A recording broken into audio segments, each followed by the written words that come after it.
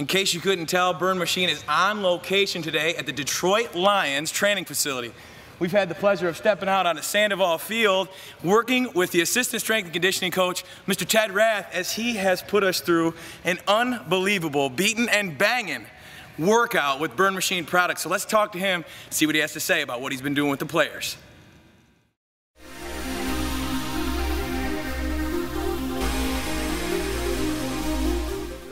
Obviously seen some YouTube videos and some of the exposure that you guys have had. So I'd seen the product out there. I always thought it was a very interesting tool, interesting piece that we had seen and I got to try a couple times. So sparked a little bit of interest and you guys actually contacted us at the perfect time and we were kind of thinking about what can we do to expand and what are some new, new things that we can use to add into our training program and, and to help our athletes reach a new level.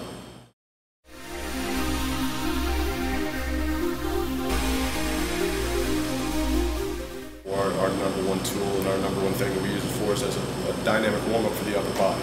You have an endless assortment of tools that you can use for the lower body. The upper body, aside from some plyometric exercises, is relatively untapped as far as warm-up procedures and dynamic things that you can do for the upper body. So we use, especially with some of our skill guys and our quarterbacks in particular, we go through a, a whole dynamic warm-up routine with it. And that gets our guys prepared. We're using it at least every other day. Typically coincides with an upper body lift or an upper body upper body exercise day.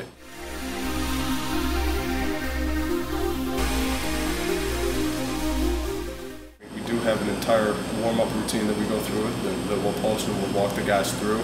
On top of that, we can use it if a guy has a lower body or a lower extremity injury. We can obviously use it to get some kind of cardiovascular workout upper body We can use the speed bag to induce a metabolic effect just basically by getting a guy you know, worn down and cranking his heart rate up a little bit. So it's a great conditioning tool on top of a warm-up piece, on top of a strength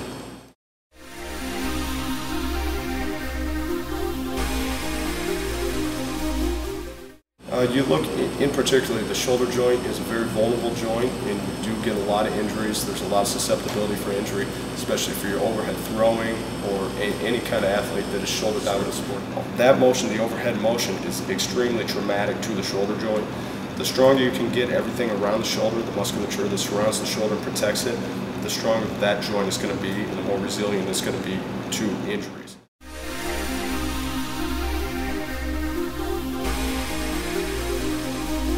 Muscular endurance is very, very, very rarely addressed in the strength and conditioning field, in my opinion. You get guys that get very big and very strong, but the whole muscular endurance, it, it very rarely gets addressed. The one thing that the speed bag can do is create a little bit of muscular endurance in your upper body, depending on what you're using it for. So especially if you're coming off an injury, an upper extremity injury, there's some things that are going to be worn down. You're not going to have muscular endurance. You're going to need to address those things on top of strength, on top of mobility, getting your range of motion back. You still need to address all those things, but muscular endurance, I think, can come into play pretty pretty largely.